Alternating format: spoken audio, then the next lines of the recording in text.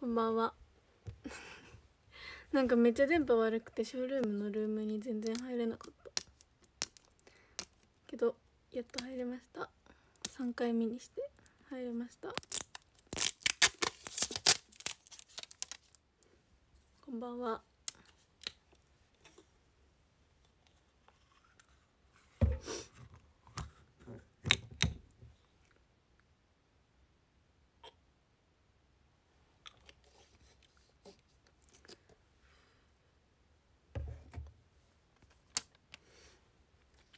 ばんは。ギフトありがとうございます。ありがとう。そうたまにね起きるんだよね。ルームに入れないっていう。再度お試しくださいみたいな。なるんですよ。今日それがなってしまった。こんばんは。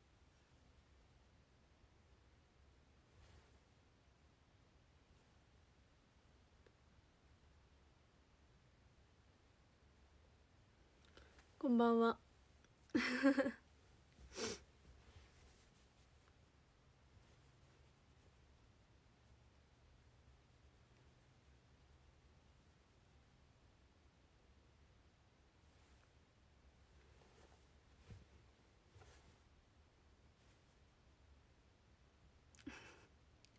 こんばんは。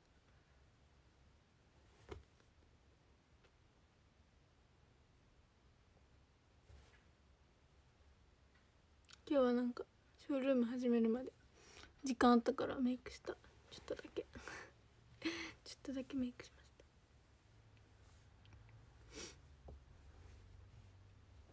こんばんは。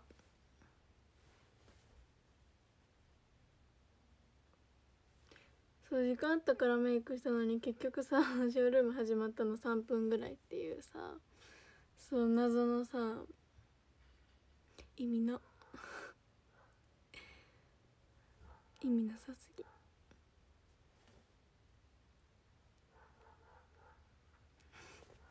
泣いてる。こんばんは。インスタやんないです。やらない。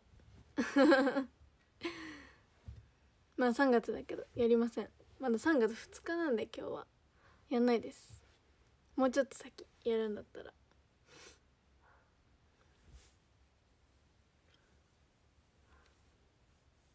こんばんは。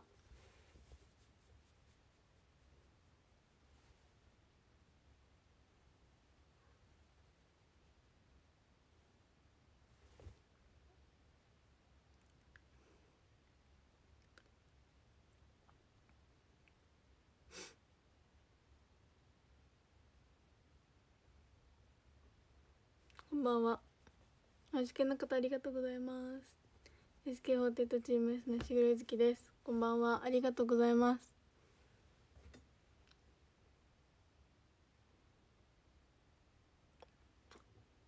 コンペイト。ありがとう。なんか色合い的にさ可愛いよね。いちごに見える。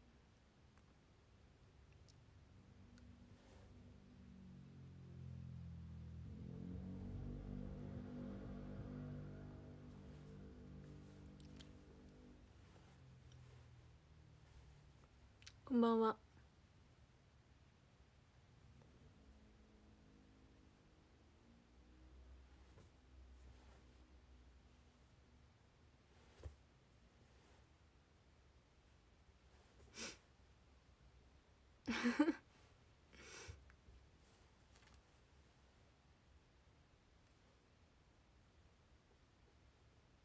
こんばんは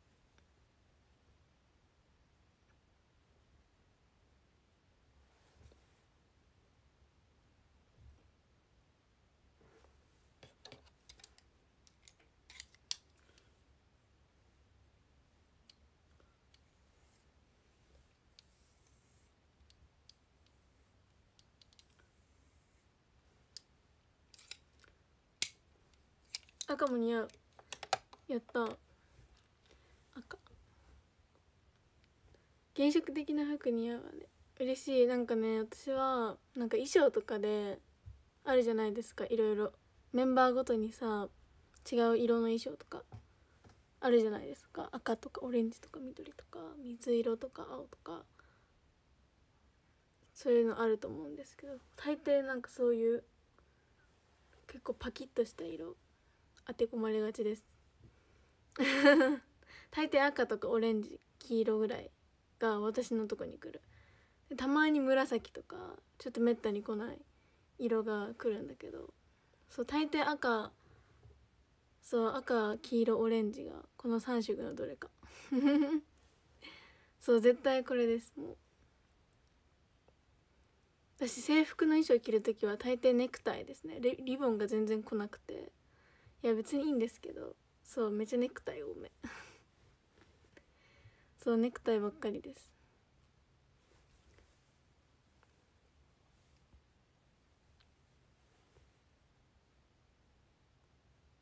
こんばんは。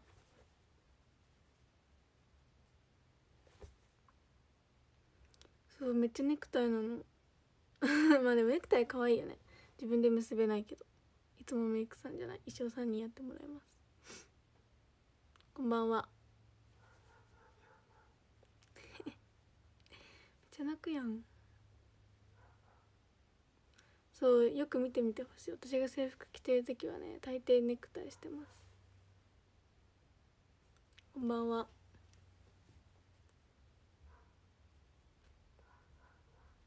フ フ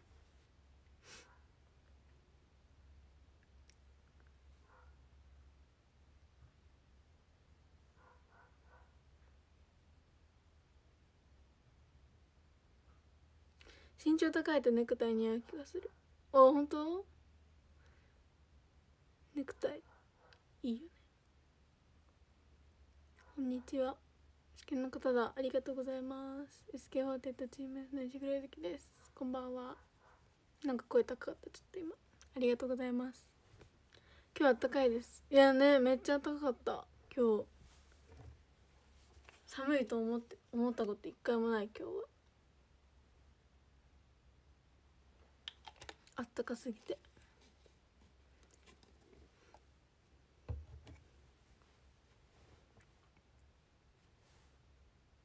こんばんは。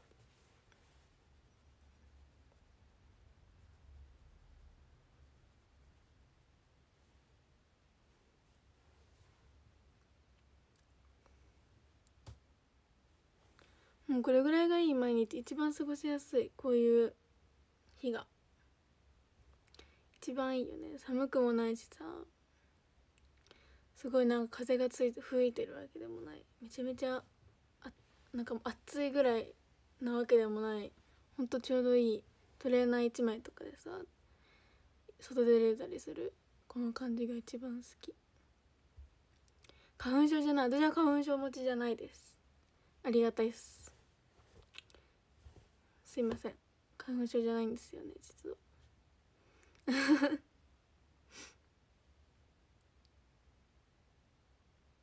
試験の方ありがとうございます。SK ホーテッドチーム S のしぐるつきです。こんばんは。ありがとうございます。そうマジで花粉症という症状が全く出てこないので花粉症じゃない。こんばんは。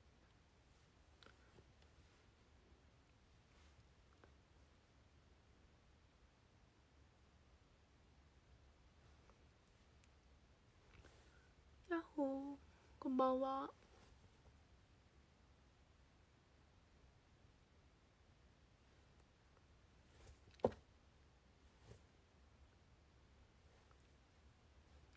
こんばんは。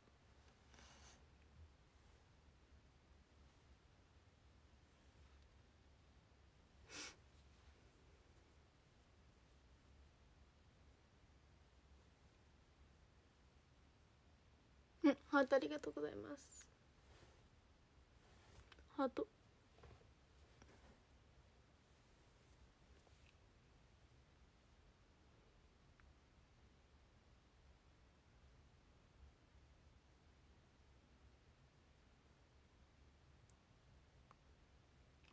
こんばんは。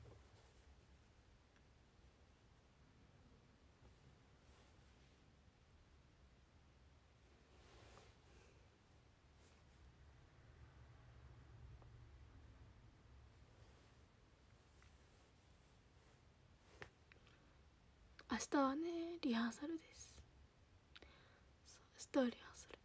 そう最近一日リハやって次の日休み。その次リハで一日休みみたいな。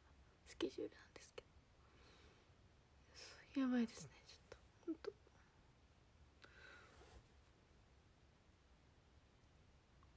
そう今回3日間。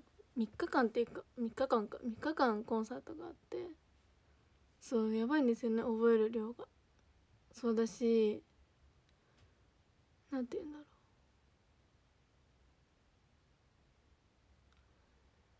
う。まあでもネタバレになっちゃうから言えないんだけど本当に瀬戸りが瀬戸りなのでそう覚えるものが多すぎてそうちょっとね今ねやばいです。そうあんまりね言えないからまだ本番がね終わってないのであんまり言えはしないんですけど。そうなんだよね。まあ本番になれば分かります。そうけどねそう難しいのよ。こんばんは。それでほんと振り覚えるのめちゃめちゃ苦手で。そうめっちゃね。やばいですね。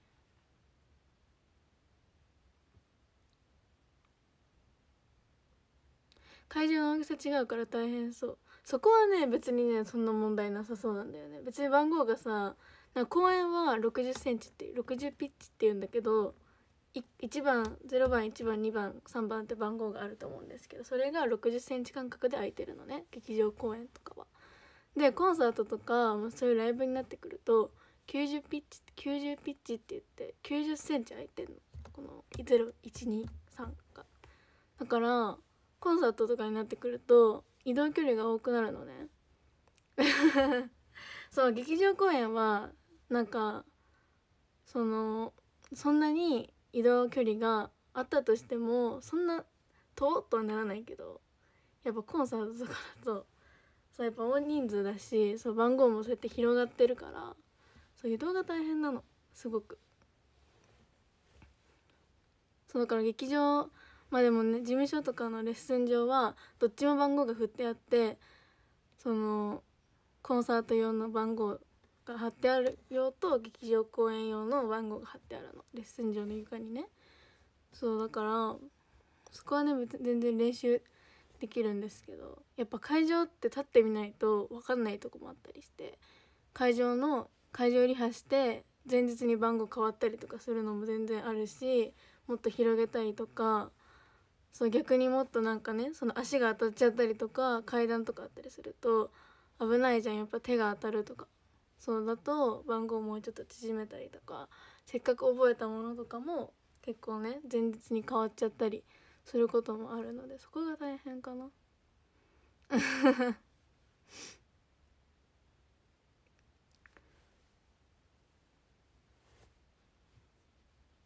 こんばんは。そう劇場公演はねそんなにねそうそんな移動することないけどやっぱコンサートは広いから会場が。いつもより。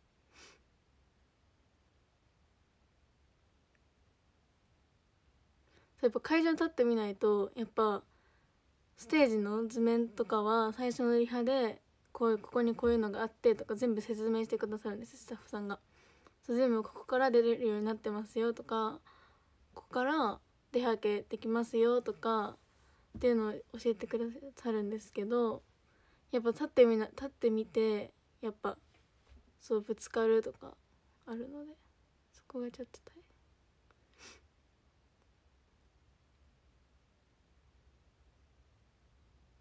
好きな方ありがとうございます。SK4 テッドチーム S のしぐれ好きです。こんばんは。出るところがいっぱいある会場とか迷いそう。いやほんとそれこそあの去年の卒業コンサートでしょっぱな間違えました私。ゆず編みで。そう上下で違ったんですよ亜美と私がね。で兆し？チリさんの1日目のコンサートで一発目兆しだったんだけどもうしょっぱな間違えてで外資ホールってあのなんか閉鎖されてたの。そうなんかね。そう閉鎖されててそう間違えるとなんか遠回りじゃないけどもう一回戻らなきゃいけないのよ。そう一回こっち来ちゃうとなんか一回戻ってこうやって行くみたいな。やらないといけなくて。めっちゃ走ったよね本番前。ダッシュした。最悪でした。自分たちが間違えたのが悪いんだけど。固まった？嘘嘘でしょ？固まったの？今。え今大丈夫ですか？見えてますか？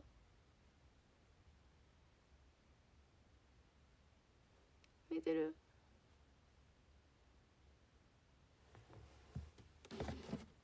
見えてるかい？こんばんは。そう外資ホールはなんか迷いました。めちゃめちゃ。こっちは大丈夫だったよ。何人によってさ変わるの？どういうこと？どういうこと？その方の電波が悪いだけ？どういうこと？こんばんは。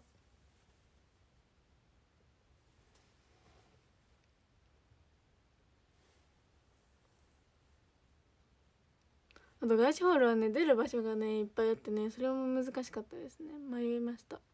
めっちゃ。めっちゃ迷った。そうもう迷路ですほんと。間違えたら終わり。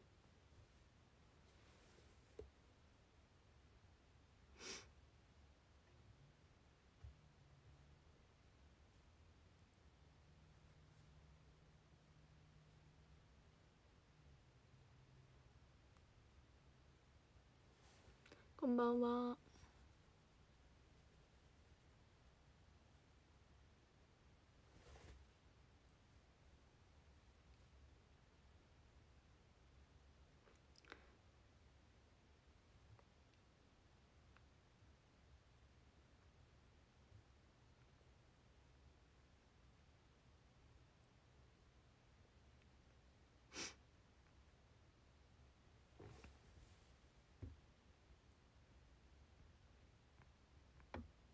花道の下で頭打たないの。頭打ちますよめっちゃ。めっちゃ打つよ。がもうめちゃめちゃ打ちました。めっちゃ打った。もう覚えてないぐらい打ちました。そうやっぱかがまないといけないからどうしても一番背が小さいメンバーでもかがむのね。大下って。だからもう背が高い人からしたらもうもう膝立ちで歩いた方がいいんじゃないぐらい低いのよ。そう本当にねそう危ない。全力で膝曲げてたのにね。そう。ドンって。ぶつかる。そうでも暗いわけじゃないの。めっちゃライト当たってて、まあ、薄暗かったりはするんですけど。そうでも全然電気とかついてる。だから全然そんな真っ暗すぎてあの動けませんみたいな。そういうとこは全然大丈夫なんですけど。ただ移動距離が長すぎて思った以上にしんどい。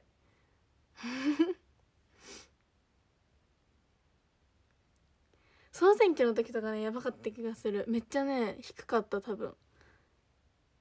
そうめっちゃ低くてそうすごかったと思う確か。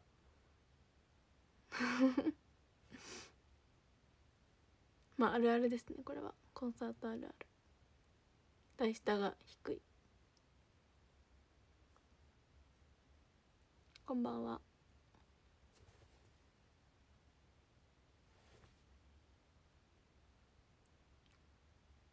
赤似合うね。嬉しい。私ちっちゃい頃からね赤めっちゃね着てたみたいで。ちっちゃい頃の写真見ても赤の服ばっか着てるし赤の帽子とかさそういうのばっか。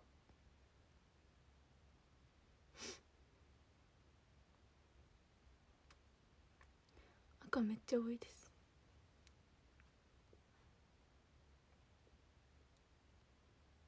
こんばんは。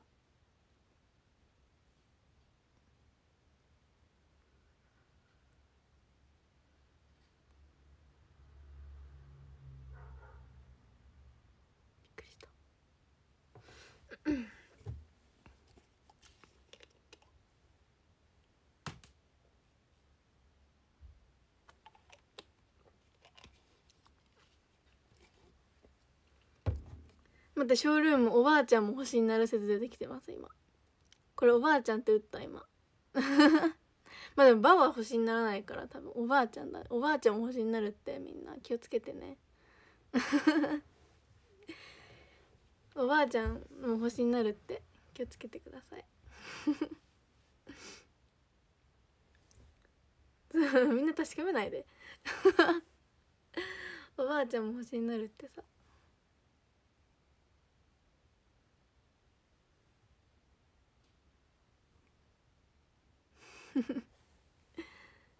あびっくりした。あおばあちゃんがなるならおじいちゃんもなるらしい。なるほどね。別にいいのに。それぐらい星じゃなくて。何祖父って言ったらいいの？祖父祖母って言ったらいいの？もうめんめんどくさいじゃないけど難しすぎん？もうコメントするだけで難しいショールどんどん増えていく。昨日は折りたたみ傘がね星になるということが発見されたので折りたたみ傘もね気をつけてください。扱い注意です。こんばんは。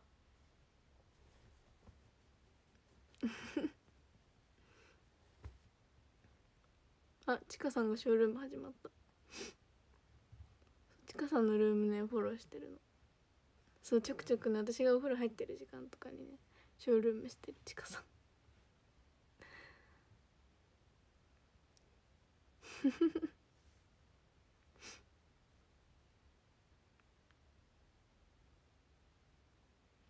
基準が難しい。いや本当に誰なんだろうね。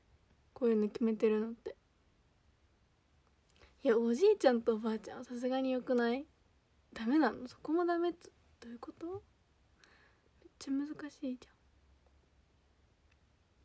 試験の方ありがとうございます。SK48 チーム S のしぐれ好きですこんばんはありがとうございます。ヤッホー。こんばんは。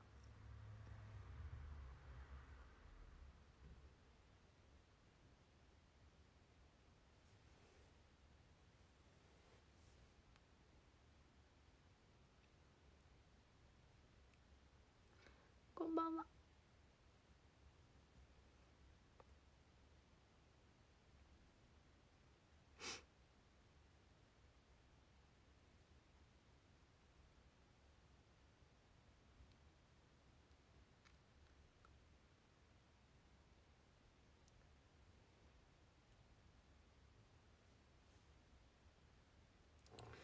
なんかさ目がめっちゃゴロゴロする。思いっきり髪の毛ぶっ刺さってたわ。だからだ。何かと思った。ぶっ刺さってた髪の毛。だからだ。めっちゃ痛かった今。何かと思った。髪の毛だ。髪の毛ぶっ刺さってた。痛そりゃ痛いわ。たまにさなんかほんと毛糸みたいなさ服のさ糸みたいに出てくるの目から。普通に危ないしさどういう経緯でさそうなったのかさ。普通に怖いんだよね。そう普通に怖くてえどこから入ってきたみたいなそういうのめっちゃ多い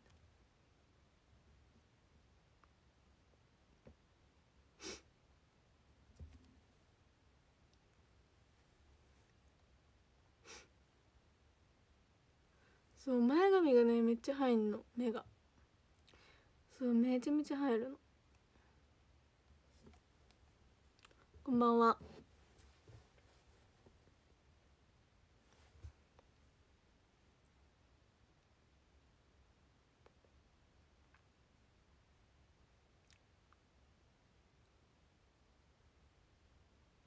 メイキリでいい嬉しい。でも今日メイクしてます。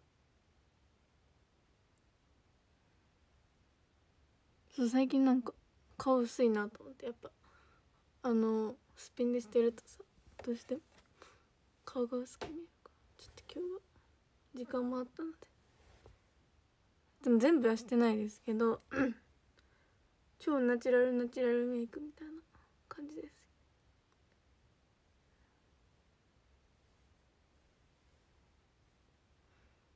そうどうしよう。めっちゃさ前髪売っとうしい。めっちゃくるんだけど。何？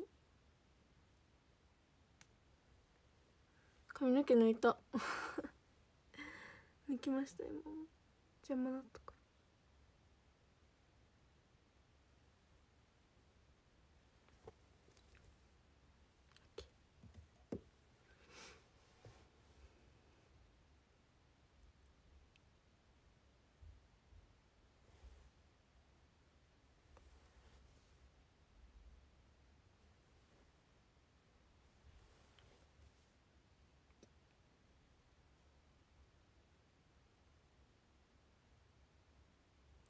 抜いたやつは生誕くじの栄翔ですか？何それ需要なくない？何？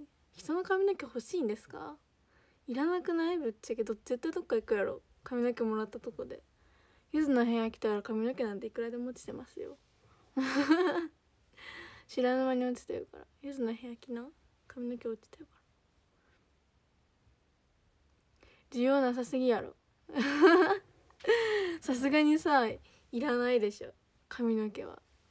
ビビるし怖いやん。普通に考えて。嫌じゃん。髪の毛はちょっと嫌だな。どんなき綺麗でもさ「え髪の毛?」ってなるやん。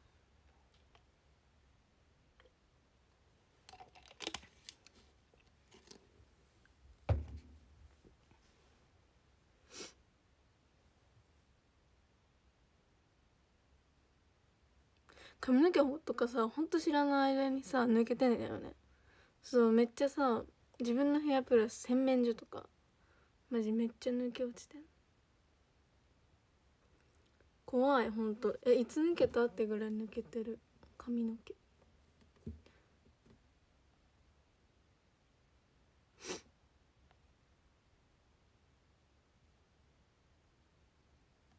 いや髪はさすがに怖いって。髪は怖すぎ。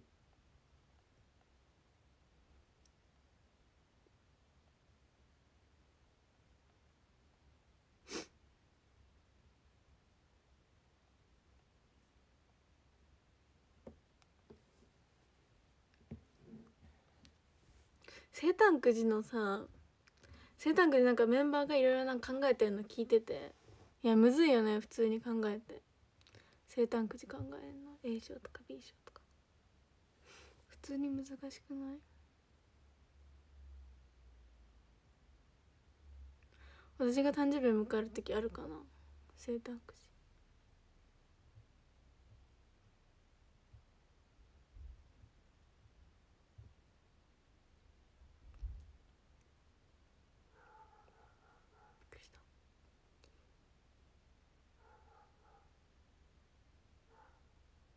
ビブスはびっくりした。いや私もびっくりした。ビブスって言ったもん。そうビブスがあげるって言うからさ聞き返したよね。えビブス？えあのビブスって聞いたもん。いやほんとびっくりしすぎて。私はそんなあげれる状態のビブスしてないんだけど。普通に。ああいうのって何でもいいんかな。何がいいんだろうね。通に考えて。まああげないけど私のビブスは。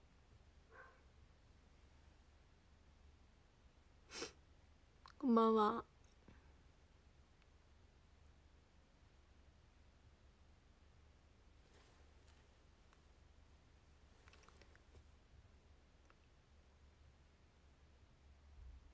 同期で MOM 公演とかで使わないか心配した。いやほんとそういう時になったらもう野村はどうするのかっていう話ですよ。もう野村ビブスがないことがもう確定しているのであれ何着もあるの？1着しかないよ。あれはレッスンの日。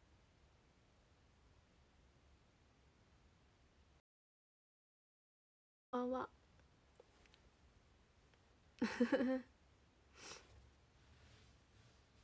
ゆずはちゃんとねクローゼットにしまってあります。そういついつビブスがいるってなってもねいいように。ビブスはあの季節関係なく衣替えしても絶対同じ場所にねあのね入れてある。誰か湯浅さんの字だよって言ってた。湯浅さんなの？あの字嘘。めっちゃマネージャーさんだと思ってた。一番最初の。マネージャー愛さんかと思ってました。違うらしい。違うんだ。岩田さんなの？一えめっちゃ書いてくれくださるんですかめっちゃ優しくない？そんな何十人もいるのに？えー、ありがたい。本当に安さん？まあ聞いたことないけど誰が書きましたとか。全然聞いたことないですけど。だとしたらめっちゃすごいね。メンバーのさビブスを名前を書いて。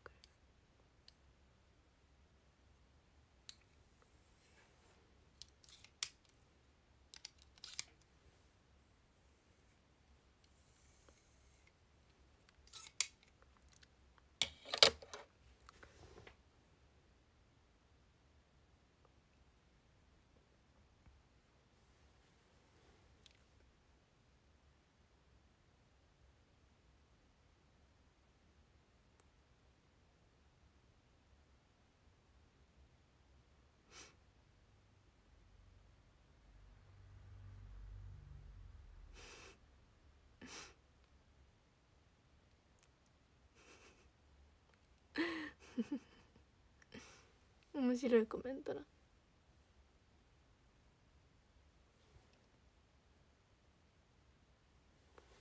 だとしたら安田さんすごい字がお綺麗ですよね。めっちゃ。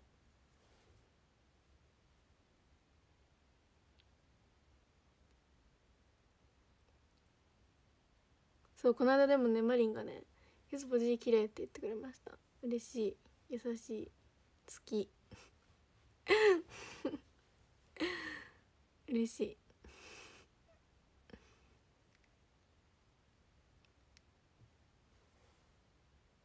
そうでも8期の中で一番字綺麗なのはダントツでかほちゃんです。マジで字綺麗。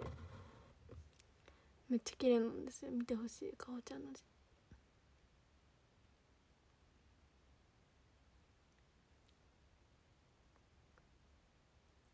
こんばんは。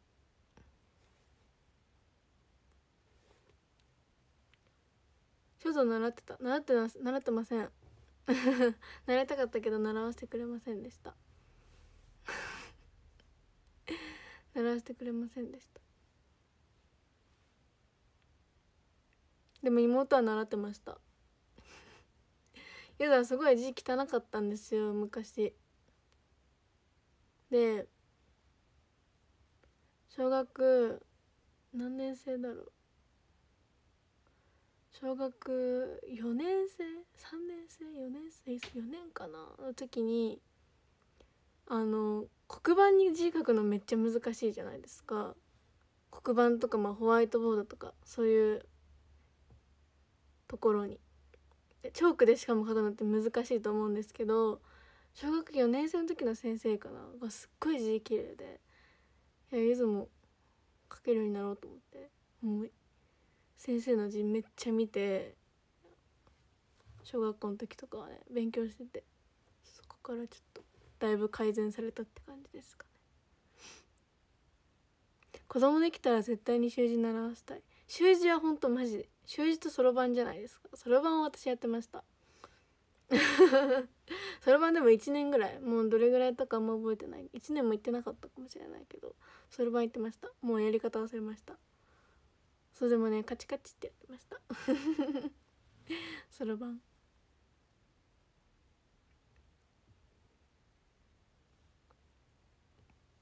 あと普通にね漢字ドリルとかめちゃめちゃ好きでした。漢字の練習めっちゃ好きでした。昔。そう漢字ドリルの宿題とかめっちゃ好きだった。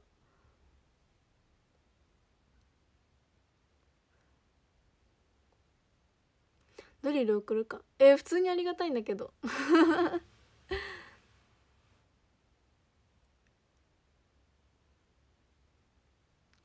そうそろばんね習ってました。そろばんも習ってたし水泳も習ってたから泳げないけど今。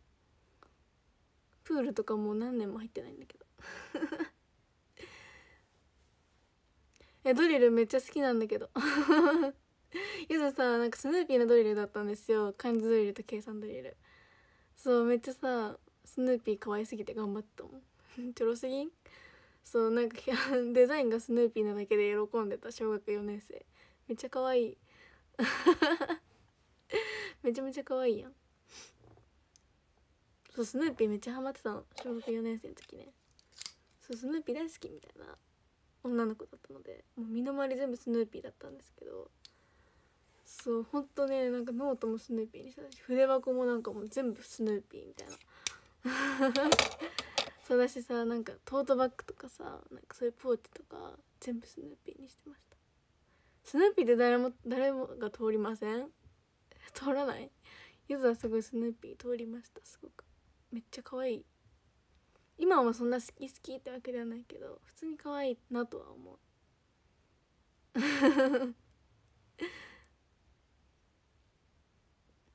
今まで習ってた習い事はね体操体操とチアとそろばん水泳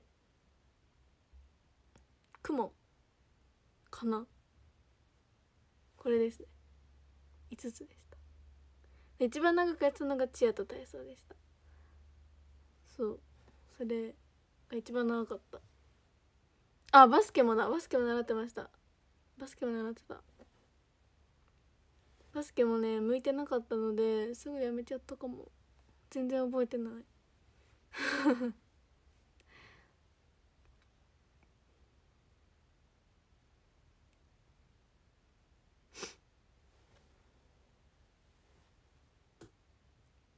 そう習い事はねなんかもう本当にほとんど全部チアと体操以外は全部なんかそんな中途半端で終わらしちゃった気がする。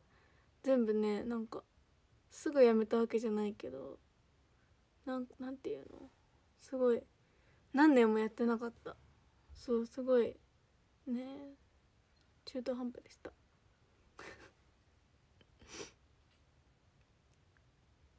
バスケはお母さんの影響で始めたの？まあそれもあるんですけど普通にバスケ部だったのとあとなんだっけ？小学校の頃バスケ部だったんですけどそのバスケ部の同級生の子たちがそのクラブチームみたいなバスケのクラブチームみたいなのに入ってて私もそれに真似していってました。下手くそでした。私マジでセンスないと思うバスケの。壊滅的にないと思います。マジで向いてない。体操って種目あるの？あーなんかあれですね。バク転とか宙返りとかロンダートとか側転とか前転後転。統一とかそういうやつですね。それを習ってました。バスケ経験してるメンバー意外に多くない？なんかゆずはなんか小学校の頃部活本当になんかまあやりたくなかったんですけど、まあ、やっておいた方がいいよってママが言うからもう消去法でバスケしかなかったの。やるのが。もう他なんかよくわかんないのが多くて。そうもうバスケしかなくてそうそこでバスケにしちゃったの。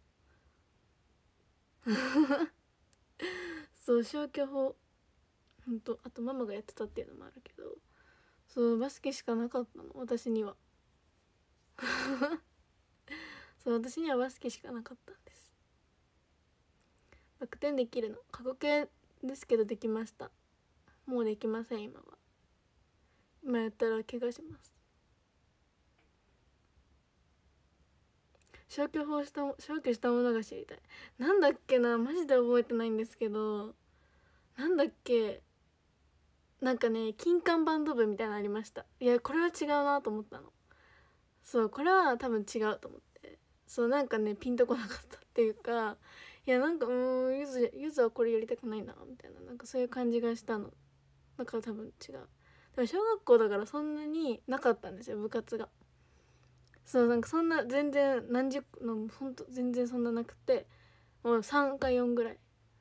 そう。そう3つか4つしかない中で金管バンド部があったのは覚えてるんですけどえー、あと何があったんだろう。全然覚えてないな。こんばんは。てか小学校の卒業アルバム行方不明なんだよね。中学あんだけどな。小学校の行卒業アルバム行方不明。私の部屋のどっかにあるとは思えないからどっかにある家の。ないんだよね。こんばんは。小学校ってどんなのあったっけ？サッカーとかあった気がするな。サッカーもねなんかサッカーは別に女の子がやるものでもないなって思ってたので、まあ、視野になかったんですけど。そうだから多分それその3つぐらいですかねもう。懐かしすぎ。そうクラブ活動と部活があって確か月曜日がクラブだったんですよ。そうすごい行きたくなかった。そう早く終われと思ってました。そうクラブ活動めっちゃ苦手だった。もう何これと思いながらやってた。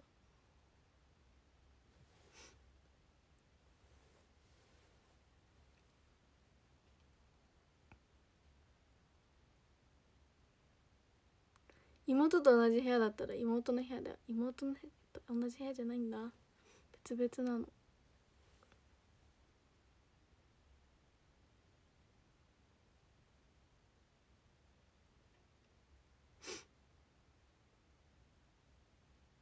クラブ活動も嫌だったし委員会も嫌いでした。もういい思い出ない小学校。思い出がないです。そう。もうほんと思い出がなさすぎ。全然覚えてない。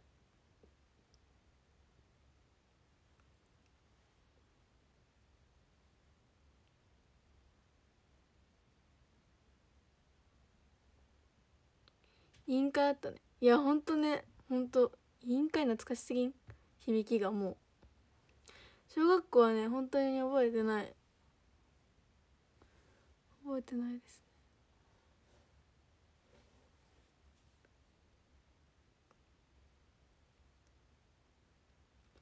ばんは。やば今日喉枯れるな。すごい喋りづらい。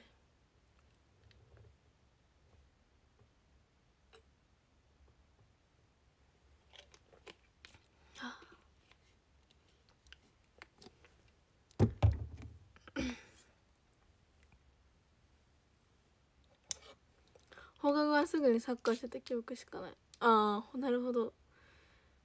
ゆずはねあのね夕方の4時頃にやるドラマを見るために走って帰ってました。やってるじゃないですか。再放送とかです。3時50分ぐらいからやってるやつ。あれを見るために友達と猛ダッシュで帰ってました。かわいいその頃の私。もうそれが楽しみで生きてたので。そうそれを見見たいがために超ダッシュで帰ってそれ見ながら宿題してそうリビングの机で。そうでもそんな遠くなかったので家まで。そうだからもうめっちゃダッシュよ。猛ダッシュしてもうギリッギリで間に合うか間に合わないかぐらいの時の時間に家帰ってきてそうやってました。そうでもいざはねあの同い年の子が近所にいないので誰かしらそういないいなかったから年上の子と帰ってました。基本的に。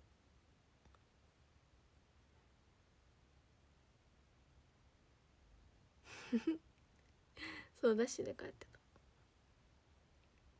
そうドラマ見たくて帰ってました。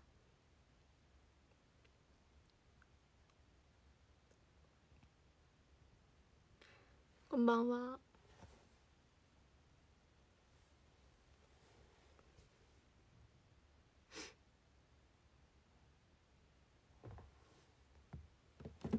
もう8時になっちゃうやん。早めっちゃ早くない？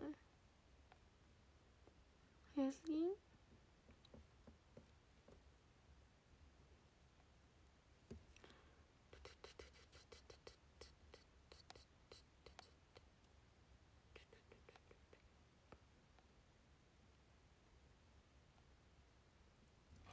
という間ですね今日。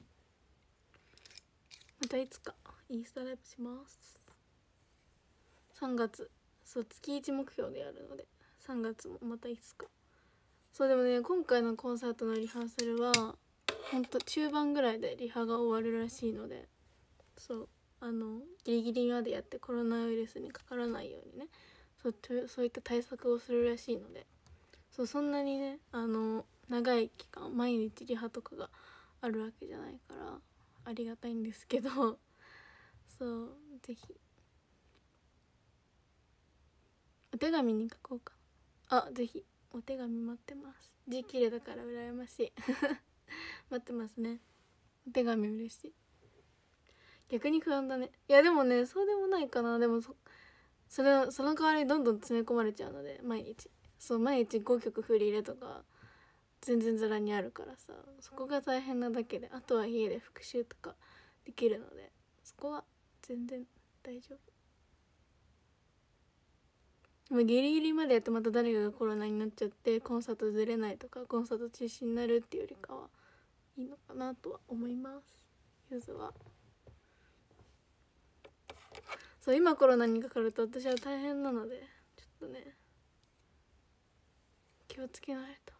そう2年経ちました。ラーメン歩いてから。やばくない？時の流れ。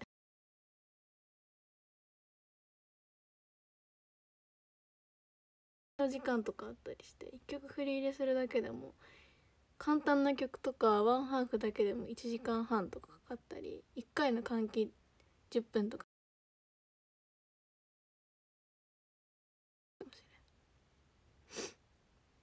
大変だし時間かかる。やっぱね人数が多いのでそう1回の振り入れ大変ですね。そうめちゃめちゃ大変。私振り入れ苦手だからさもう途中で諦めんの。そうもうやばい。家で覚えようってなっちゃう。途中で踊ってると。そうもう家でやろうって思っちゃいます。そうでもゼロポジの練習もしないと。です。やばいです。もうあさってえやばくない？ネモハモはもう踊れますよ。ネモハモはねもう踊れる。踊るとこないけど。踊る機会ないですけど。ネモハモはねもう理解した。あのウィッチウェイだっけ。いや今更かいって話ですけど。もう収録さもうしたの何ヶ月前なんて話ですけど。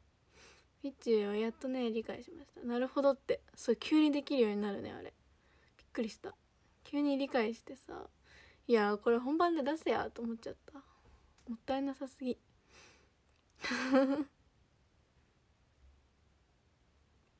ゼロポジ楽しみ？緊張？えー、どっちも。どっちもですかね。でも楽しみが70%ぐらい。いや65ぐらいにしとこう。で緊張が35ぐらいです。それぐらいです今。いやわかんない。あの本番生放送だしどうなるかは分かんないですけど。楽しみです。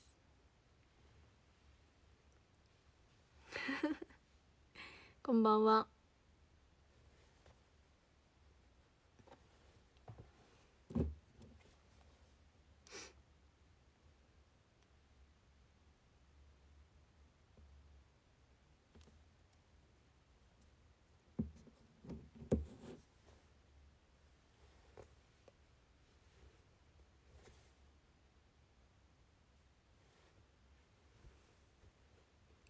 生放送だから声届くかもじゃん。いっぱい応援するぜひ生放送なんで見てください。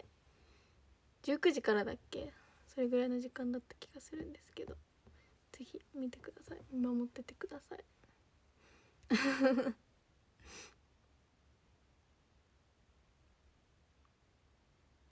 こんばんは。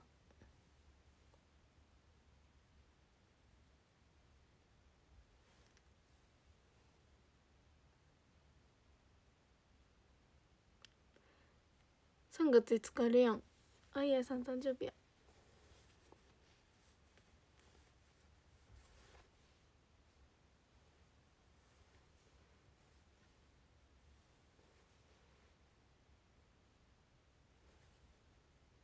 こんばんは。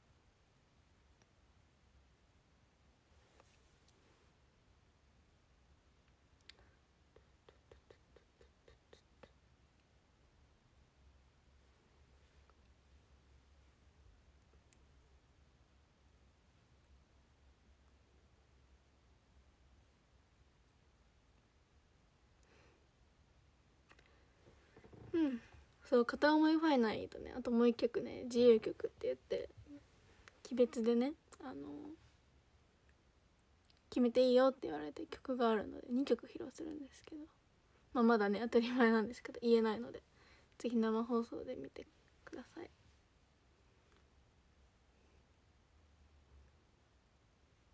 友達に口塞がれたことある？どういう質問？ないですよ。ないですよ。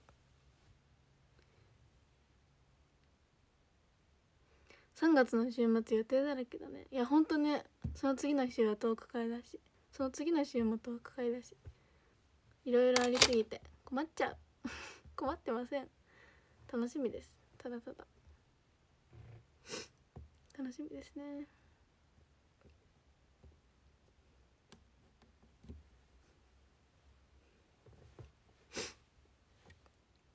そうだしねこの間結構ちょっと前かな。審査員の方も。発表されたりしたので。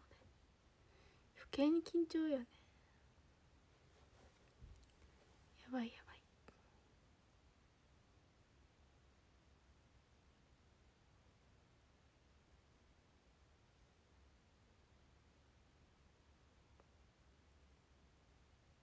もうすぐトーク会で会えるの楽しみ。いや本当にゆずも楽しみすぎて。やばいかもしれん。寝れんかも。いや寝れます。寝れます。全然寝れます。いやでも楽しみです。そうこの間なんかあやかぴょんにそうあやかぴょんとお仕事終わりにバイバイして次いつ会えるかなみたいな話をしてたのね電車の中で。で そうなんかもう分かんないですねみたいな話をしたの。そう本当に会う予定がなくて。だから毎日泣き寝入りしますって言っといた。今出してません。明日会うのに。そう泣き寝入りするって言っといた。そしたら写真送れよって言われました。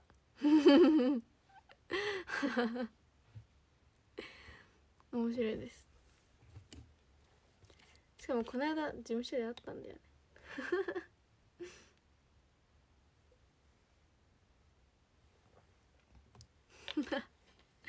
泣き寝入り。ゆずぼのトーク会2回目。あありがとう。ぜひ。待ってます。こんばんは。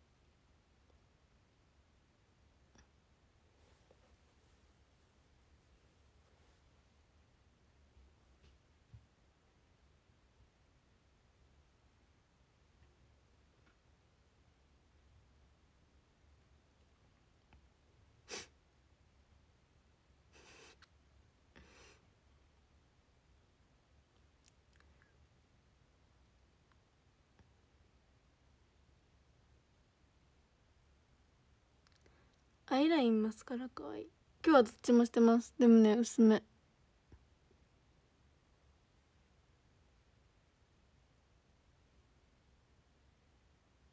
どう？でもいつもねアイラインはね目尻しか引けません。怖くて。そいつもここにしか引かない。こうやって引っ張って引いてます。アイライン未だ苦手。すごい引けるようにはなりましたけど。めっちゃね苦手。ほんと髪の毛さすってる。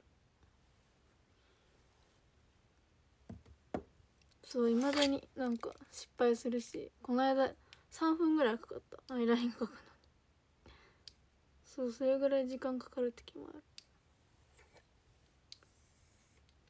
る。難しいの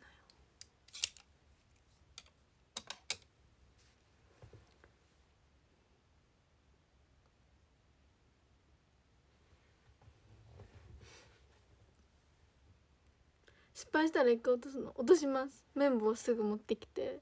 そうシュッてやって。やる。かも一回時間置きます。もう一回諦めて一回落ち着いてやる。一回落ち着いて そう。朝忙しい時に失敗すると大変よね。そうなんか失敗する時ってさあの時間がない時なの。まあ焦ってるからなのかそうめっちゃね時間がない時にそう怒りやすいの。逆になんか何にもない時にたまにメイクしたりすると上手にできちゃったりとかしたりすることもある。そうそうなんですよね。いつも余裕持ってメイクするんですけどいつも時間足りない。特にそんなねゆっくりしてるわけでもないんですけど。つも時間足りなくなる。こんばんは。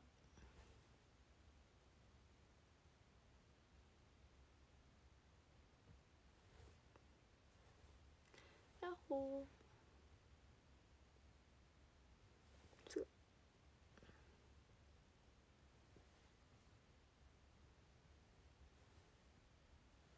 うんもう。